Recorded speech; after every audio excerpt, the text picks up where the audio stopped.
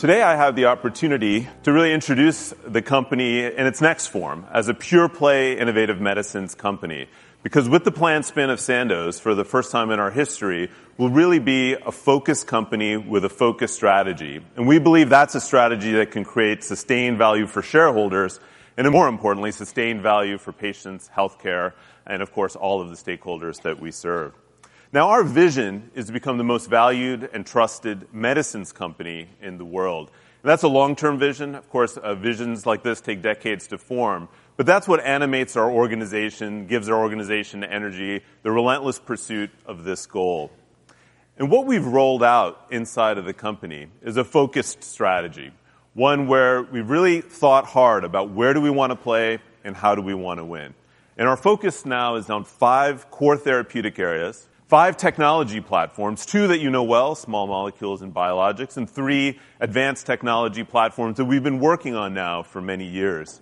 Four priority geographies that we think will ultimately enable us to grow for the long term.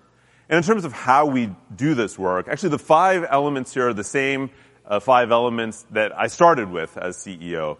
But importantly, we've tried to prioritize thinking about growth, returns, and thinking about foundations, culture, our unbossed philosophy, scaling data science and technology in the company, and continuing to focus on ESG matters, building trust with society. Now, turning to geographic focus, you know, one key priority of ours is to improve our position in the U.S.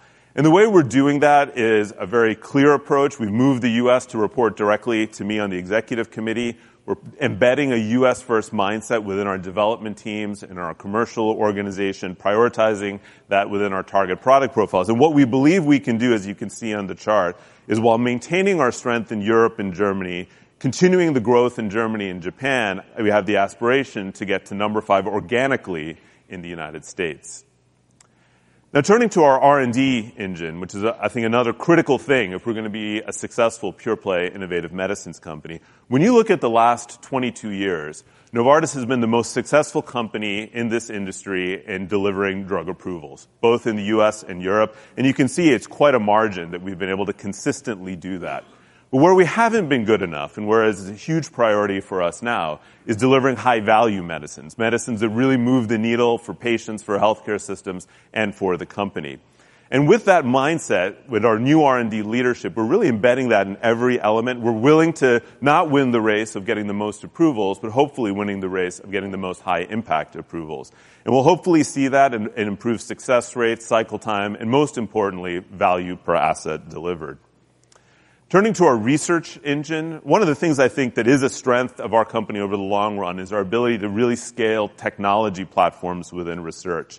Here's a full list of many of the areas that we're working on, showing where we are, relatively speaking, where we have in-market assets. And again, the mindset we're now putting into our NIBR organization is as much around the high science as about high value. And can we make the trade-offs early on so we prioritize the select assets we think that can really drive long-term performance? So in closing, we have a clear roadmap to success. We've transformed ourselves into a pure-play IM company. We have five core TAs and a clear set of technology platforms and a U.S. geographic focus, nine big in-market brands, a focus on upskilling our R&D productivity and prioritizing high-value NMEs, commitment to deliver attractive financials consistently over the decade, shareholder-focused capital allocation, and a commitment to building world-class foundations. And with that, we hope to continue to demonstrate to all of you that Novartis is on the track to become the most valued and trusted medicines company in the world.